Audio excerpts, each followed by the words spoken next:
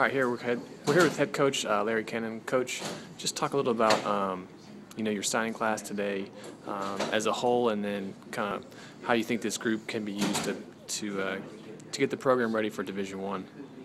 You know, number one is there's a lot of guys because we had more numbers this year because we lost a large senior class and we had extra scholarships because we won one double A. So after a higher caliber of guy than we have in the past and we got a lot more of them. And as I said earlier, you know, we had 18 guys visit the first week and 15 of them committed. So all of a sudden after the first week, we were, you know, we were half full and we just kept going like that. And the, second weekend, we got a bunch more commitments than the third weekend. So we feel very good about it. I would give us a B plus for recruiting, and, and had we gotten one or two other key guys, I would have given us an A. And I'm a hard critic, you know. I'm, I'm tough on us, but I think we got a great class.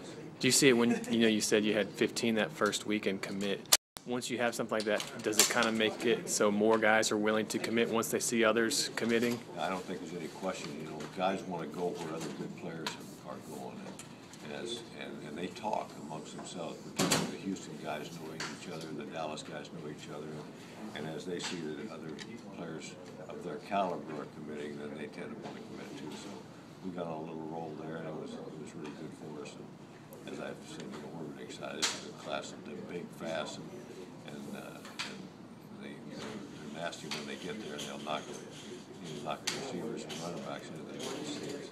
How big of a difference was it for you this year having the full you having been here for a full year to I guess put your whole recruiting philosophy in place and all that kind of stuff? Well, it, it obviously helped because we had, we had a lot more time, you know, and we didn't have to coach. I didn't have to coach the coaches on what I was looking for, and, and we all knew each other better, and, and we went out and worked really hard, and uh, we had great effort, and, uh, all of us worked really hard to, to get this thing done, and so, you know, we're, we're tired and ready to get on to something else now, but recruiting's a, a year-round process. We Right. just got to keep doing it. All right, thanks, coach.